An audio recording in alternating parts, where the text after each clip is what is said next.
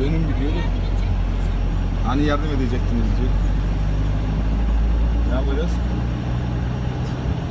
O işler geçti artık.